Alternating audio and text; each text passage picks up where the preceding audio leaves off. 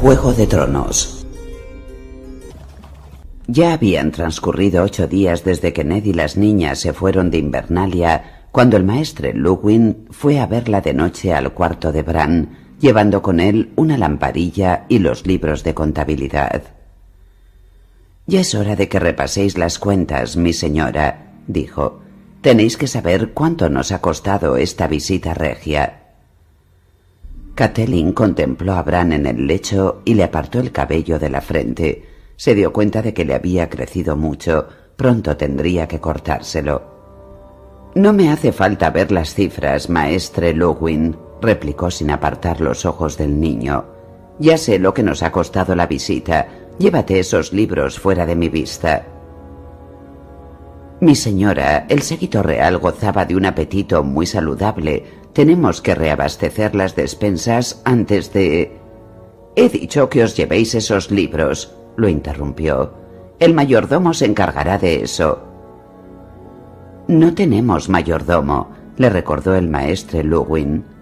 Catelyn pensó que era como una rata gris. No la iba a dejar escapar. Poole se ha ido al sur para ocuparse de la casa de Lord Eddard en Desembarco del Rey. Ah, sí, ya lo recuerdo, asintió Catelyn distraída. Bran estaba muy pálido. Pensó que debería acercar más la cama a la ventana para que le diera el sol de la mañana. El maestre Luwin puso la lamparilla en un nicho junto a la puerta y jugueteó con el pábilo inquieto. Tenéis que prestar atención de inmediato al tema de los nombramientos, mi señora. Además del mayordomo, necesitamos un capitán de los guardias para ocupar el puesto de Yori, un caballerizo. Catelyn volvió la mirada con brusquedad y la fijó en él. ¿Un caballerizo? Su voz restalló como un latigazo. Sí, señora. El maestre estaba aturdido. Ulen se marchó al sur con Lord Eddard, así que... Mi hijo yace en una cama, Luwin está destrozado, se muere, ¿y quieres que me dedique a pensar en un nuevo caballerizo? ¿Crees que me importa lo que pasa en los establos? ¿Crees que me preocupa lo más mínimo? De buena gana mataría hasta el último caballo de Invernalia con mis manos si eso sirviera para que Bran abriera los ojos. ¿Lo entiendes? ¿Lo entiendes? Sí, mi señora. El hombre inclinó la cabeza. Pero los nombramientos... Yo me encargaré de los nombramientos, dijo Rob. Catelyn no lo había oído llegar, pero estaba en la puerta mirándola. Con un repentino ramalazo de vergüenza se dio cuenta de que había estado gritando. ¿Qué le pasaba? Estaba agotada y le dolía la cabeza constantemente. El maestre Luwin miró a Catelyn, luego a su hijo. He preparado una lista con todas las personas que deberíamos tener en cuenta para ocupar las vacantes, dijo al tiempo que tendía a Rob el papel que se había sacado de la manga. El muchacho repasó los nombres. Catelyn advirtió que venía del exterior, tenía las mejillas enrojecidas por el frío y el viento le había revuelto el pelo. Excelentes hombres, dijo. Mañana hablaremos de ellos. Le devolvió la lista. El maestre Luwin la hizo desaparecer rápidamente en la manga. Como digáis, mi señor. Ahora déjanos solos, indicó Rob. El hombre hizo una reverencia y salió de la estancia. Rob cerró la puerta y se volvió hacia su madre. Catelyn vio que llevaba una espada. ¿Qué haces, madre? Catelyn había pensado siempre que Rob se parecía a ella. Tenía la complexión de los Tully, el mismo pelo castaño, los mismos ojos azules, igual que Bran, Rickon y Sansa. Pero también en más de una ocasión había visto algo de Eddard Stark en su rostro, algo tan severo y duro como el norte. ¿Qué, qué hago? repitió asombrada. ¿Cómo puedes preguntarme eso? ¿Tú qué crees? Estoy cuidando de tu hermano, de Bran. ¿De verdad? No has salido de esta habitación desde que resultó herido. Ni siquiera fuiste a la entrada del castillo cuando mi padre y las chicas se fueron al sur. Los despedí aquí y los vi partir por la ventana. Había suplicado a Ned que no se fuera, no en aquel momento, y menos con lo que había pasado. La situación era completamente diferente. ¿No se daba cuenta? Fue inútil. Él le dijo que no tenía elección y decidió marcharse. No puedo dejarlo solo ni un momento, porque ese momento podría ser el último. Tengo que estar con él por si... por si... Tomó la mano inerte de su hijo y entrelazó los dedos con los suyos. Era una mano tan frágil y enflaquecida, tan débil, pero pese a todo, aún se notaba el calor de la vida a través de la piel. No se va a morir, madre. El tono de Rob se había suavizado. El maestre Luwin dice que el peligro de muerte ha pasado. ¿Y si el maestre Luwin está equivocado? ¿Y si Bran me necesita y yo no estoy aquí? Rickon te necesita, replicó Rob bruscamente. Solo tiene tres años, no entiende qué está pasando. Cree que todos lo han abandonado y me sigue todo el día. Se me agarra la pierna y no para de llorar. No sé qué hacer con él. Hizo una pausa y se mordisqueó el labio inferior, un gesto que le había visto cuando era pequeño. Y yo también te necesito, madre. Lo intento, pero no puedo. No puedo hacerlo todo yo solo. El repentino arrebato de emoción le quebró la voz y Catelyn recordó que solo tenía catorce años. Quiso levantarse, correr a él y abrazarlo, pero Bran la tenía agarrada por la mano y no pudo moverse. En el exterior de la torre un lobo empezó a aullar. Catelyn se estremeció. Es el de Bran. Rob abrió la ventana para que el aire de la noche entrara en la habitación de la torre tan mal ventilada. El aullido se oyó con más fuerza. Era un sonido frío y solitario, lleno de melancolía y desesperación. No, no, dijo ella. Bran necesita calor. Lo que necesita es oírlos cantar, dijo Rob. En algún lugar de Invernalia, un segundo lobo empezó a aullar a coro con el primero y luego un tercero más cerca. Peludo y viento gris, añadió Rob mientras sus voces subían y bajaban al unísono. Si prestas atención se nota la diferencia. Catelyn estaba temblando. Era la pena, era el dolor, era el aullido de los lobos guargo. Noche tras noche, los aullidos, el viento gélido y el castillo, tan gris y tan vacío, siempre igual, siempre igual, y su niño tendido allí destrozado, el más dulce y cariñoso de sus hijos, el más encantador, Bran, que adoraba reír y trepar y soñaba con ser caballero. Ahora todo eso se había acabado, nunca volvería a oír su risa. Sollozó, soltó la mano del niño y se tapó los oídos para protegerse de aquellos aullidos espantosos. Haz que se callen, gritó. No lo soporto. Que se callen, que se callen, que se callen. Mátalos, lo que sea, pero haz que se callen. No recordó cómo cayó al suelo, pero Rob la tuvo que levantar y sostenerla con brazos fuertes. No tengas miedo, madre, jamás le harían daño. La ayudó a llegar hasta el catre que estaba en un rincón de la habitación. Cierra los ojos, le dijo con cariño. Descansa. El maestre Luwin dice que apenas has dormido desde la caída de Bran. No puedo, sollozó ella. Que los dioses me perdonen, Rob. No puedo. ¿Y si se muere mientras duermo? ¿Y si se muere? ¿Y si se muere? Los lobos seguían aullando. Catelyn gritó y volvió a taparse los oídos. Por los dioses, cierra la ventana. Solo si me prometes que vas a dormir. Rob se dirigió hacia la ventana, pero cuando iba a cerrar los postigos, se oyó otro sonido por encima del aullido lastimero de los lobos guargo. Son los perros, dijo, prestando atención. Todos los perros están ladrando a la vez. Eso sí que es raro. Catelyn oyó claramente cómo su hijo tragaba saliva.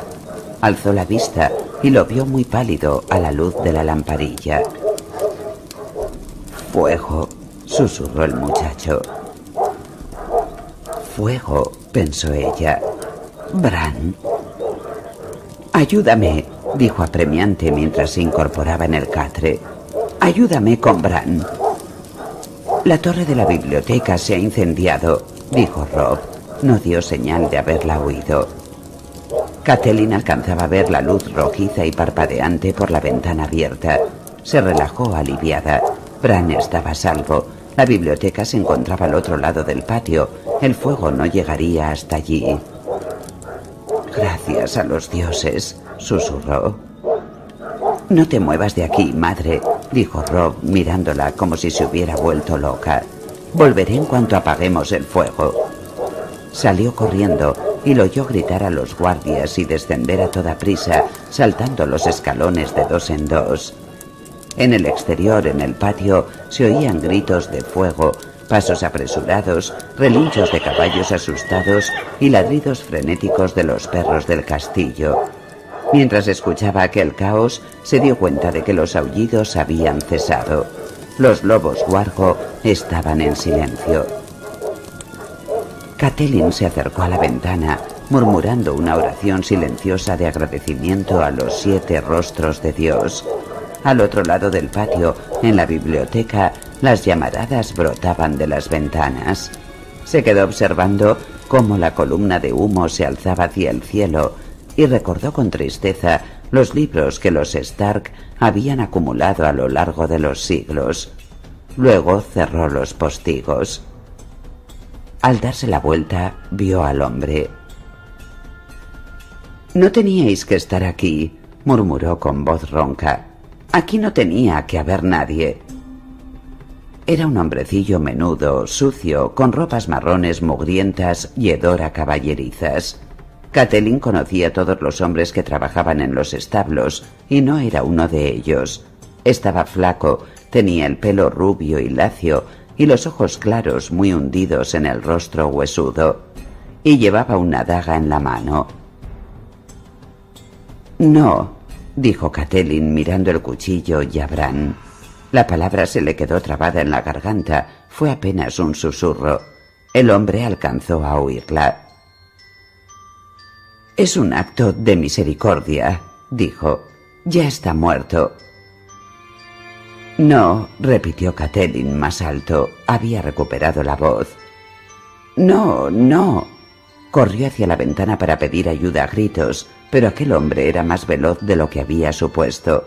Le tapó la boca con una mano, le echó la cabeza hacia atrás y le puso la daga en la garganta. El hedor que despedía era insoportable. Catelyn agarró la hoja con las dos manos y tiró con todas sus fuerzas para apartársela de la garganta. Lo oyó maldecir junto a la oreja. Tenía los dedos resbaladizos por la sangre, pero no soltó la daga. La mano que le cubría la boca presionó con más fuerza, impidiéndole la respiración.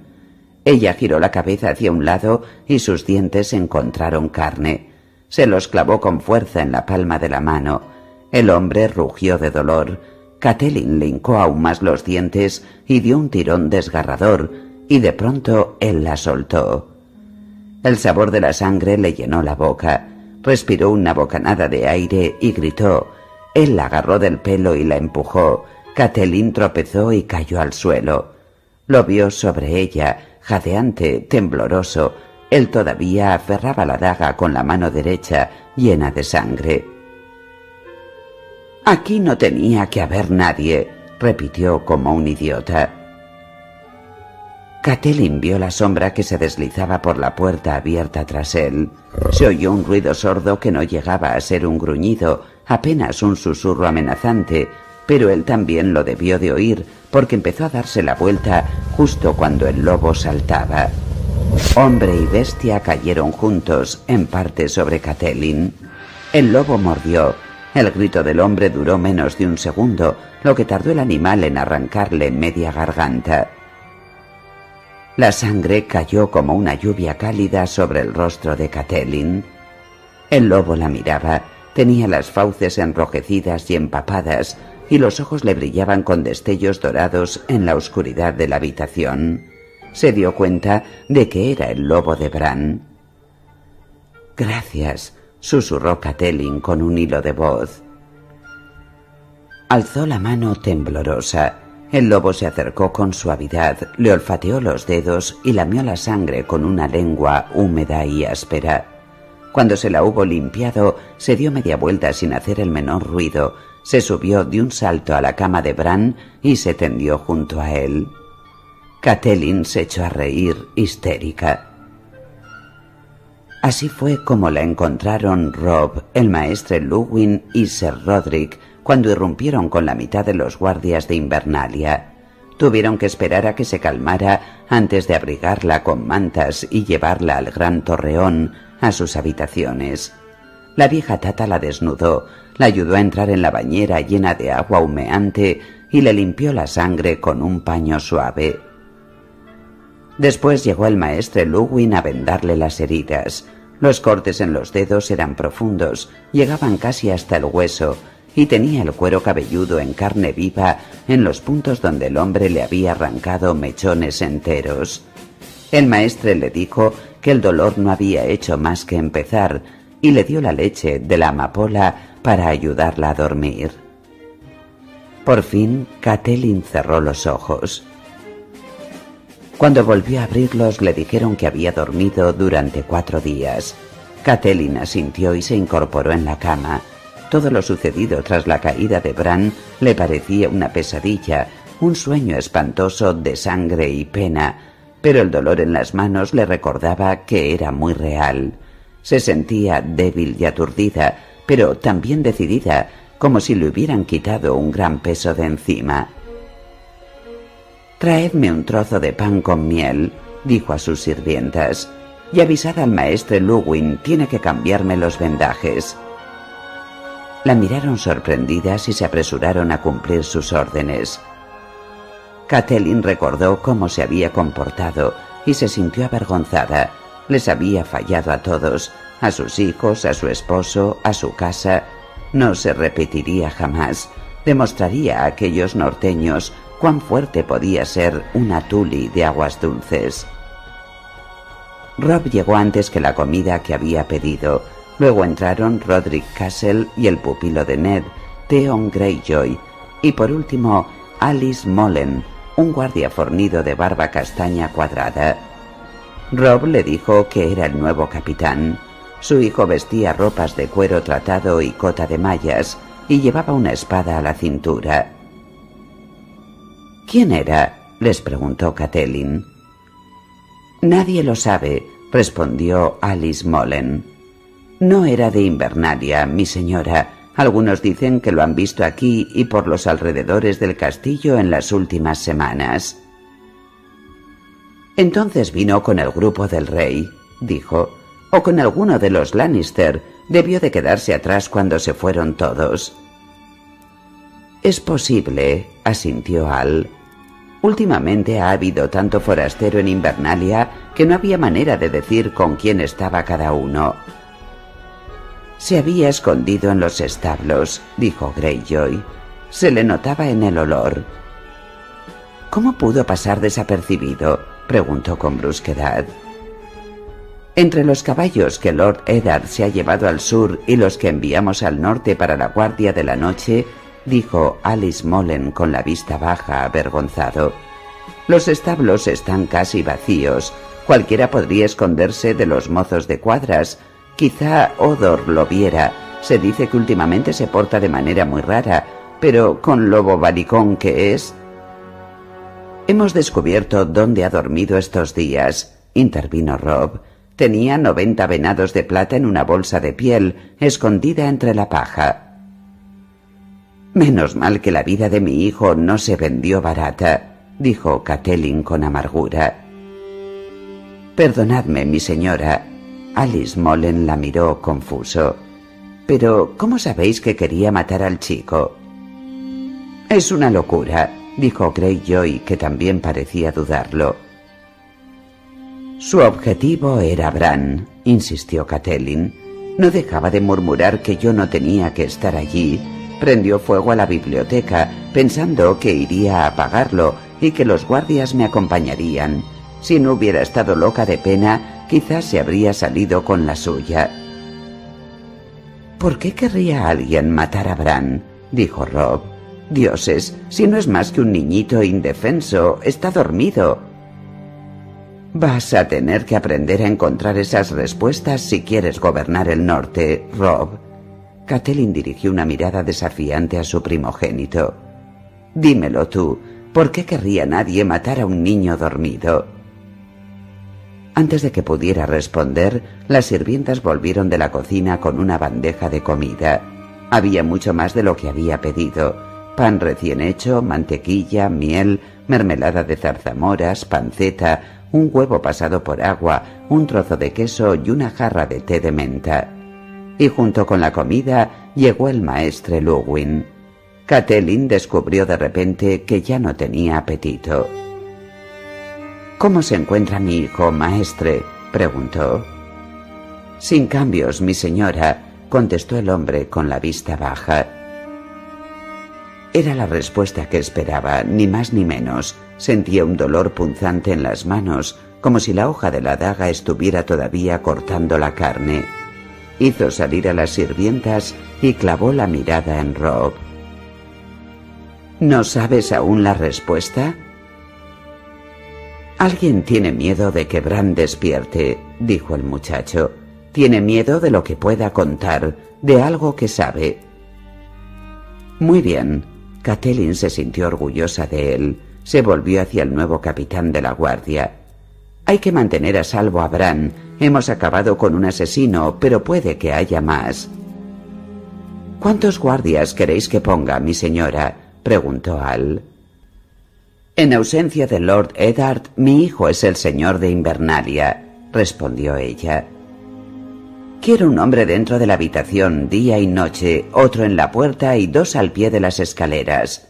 Rob se irguió un poco más. Nadie puede entrar a ver a Bran si mi madre o yo no damos antes permiso. A vuestras órdenes, mi señor. De inmediato, sugirió Catelyn. Y que el lobo esté con él en la habitación, añadió Rob. Sí, sí, asintió Catelyn. Lady Stark, dijo Sir Roderick mientras el guardia salía de la habitación. ¿Os fijasteis por casualidad en la daga que llevaba el asesino?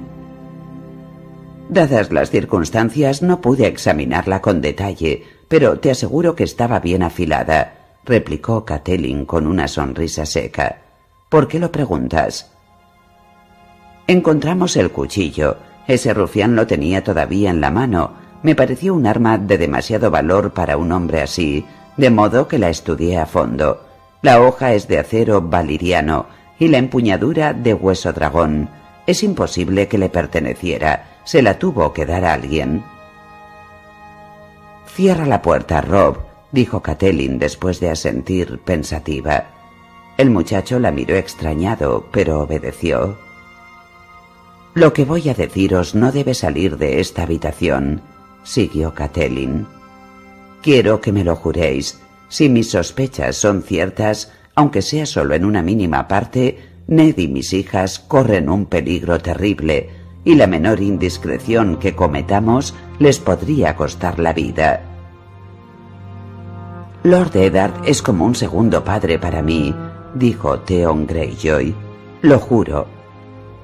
Tenéis mi palabra, dijo el maestre Luwin. Y la mía, señora, dijo Sir Roderick. ¿Y tú, Rob? Preguntó mirando a su hijo. El muchacho asintió. Mi hermana Lisa cree que los Lannister asesinaron a su esposo, Lord Arryn, la mano del rey, continuó Catelyn.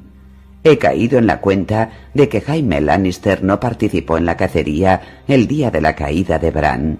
Estuvo todo el tiempo aquí, en el castillo. Se hizo un silencio de muerte en la habitación. No creo que Bran se cayera de aquella torre, dijo rompiendo el silencio. Creo que lo tiraron. La conmoción se reflejó en los rostros. La sola idea es monstruosa, mi señora, dijo Roderick Castle. Hasta el matarreyes tendría escrúpulos a la hora de asesinar a un niño inocente. ¿Tú crees? dijo Theon Greyjoy. Tengo mis dudas. La ambición de los Lannister es tan infinita como su orgullo, dijo Catelyn. El niño no había resbalado jamás, señaló el maestre Luwin pensativo. Conocía hasta la última piedra de Invernalia. Dioses, maldijo Rob. Tenía el joven rostro ensombrecido por la ira. Si es cierto, lo pagará muy caro. Desenvainó la espada y la blandió en el aire. Lo voy a matar. Guarda eso, le gritó Sir Roderick hecho una furia. Los Lannister están a cientos de leguas. Nunca desenvainéis la espada si no tenéis intención de utilizarla. ¿Cuántas veces te lo tengo que decir, chiquillo idiota? Rob guardó la espada avergonzado. De repente volví a sentirse muy niño. Veo que el arma de mi hijo es ya de acero, dijo Catelyn a Sir Roderick. Me pareció que era el momento adecuado, replicó el viejo maestro de armas. Desde luego, dijo mientras Rob la miraba con ansiedad. Puede que Invernalia necesite pronto de todas sus espadas, y más vale que no sean de madera. Si llega la ocasión, señora, dijo Theon Greyjoy con la mano en la empuñadura de su arma, recordad que mi casa está en deuda con la vuestra. Lo único que tenemos son conjeturas. El maestro Luwin jugueteó con los eslabones de su collar. Estamos hablando de acusar al amado hermano de la reina. A ella no le va a hacer gracia. Si no conseguimos pruebas, más nos valdrá guardar silencio. ¿Qué más pruebas quieres que la daga? dijo Sir Roderick. La desaparición de un arma así no puede haber pasado desapercibida. Alguien tiene que ir a desembarco del rey, dijo Catelyn. Había comprendido que solo existía un lugar para dar con la verdad. Yo mismo, se ofreció Rob. No, tú debes permanecer aquí. Siempre tiene que haber un Stark en Invernalia miró a Sir Roderick con sus bigotes blancos, al maestre Luwin vestido con la túnica gris, al joven Greyjoy tan esbelto, tan moreno, tan impetuoso. ¿A quién enviar? ¿Cuál de ellos inspiraría mayor confianza? De pronto supo la respuesta. Apartó a un lado las mantas. Tenía los dedos vendados tan rígidos e inútiles como si fueran de piedra. Bajó de la cama tengo que ir yo, añadió. ¿Os parece que es una idea sensata, mi señora? dijo el maestre Luwin. No cabe duda de que vuestra llegada despertará las sospechas de los Lannister. ¿Y qué pasa con Bran? preguntó Rob. El pobre muchacho parecía muy confuso. No irás a decirme que piensas dejarlo solo. Ya he hecho por Bran todo lo que he podido, dijo Catelyn poniéndole una mano vendada en el hombro. Ahora su vida está en manos de los dioses y en las del maestre Luwin. Tú mismo me lo has dicho, Rob. Tengo que pensar en el resto de mis hijos. Necesitaréis una buena escolta, mi señora, dijo Theon. Enviaré a Al con un pelotón de guardias, señaló Rob. No, replicó Catelyn. Un grupo numeroso llamaría la atención y es lo que menos nos interesa. No quiero que los Lannister sepan que me dirijo hacia allí. Mi señora, al menos permitid que os acompañe yo, suplicó Sir Roderick. Una mujer no debe viajar sola por el camino real. Es peligroso. No pienso ir por el camino real. Meditó un instante y asintió. Dos jinetes pueden ir tan deprisa como uno, y sin duda más que una columna larga que además tenga que mantenerse al ritmo de los carromatos. Agradeceré vuestra compañía, Sir Roderick. Seguiremos el cuchillo blanco hasta el mar y allí alquilaremos un barco en Puerto Blanco. Con un poco de suerte, caballos descansados y vientos favorables, llegaremos a desembarco del rey mucho antes que Ned y los Lannister. Y entonces pensó, que sea lo que los dioses quieran.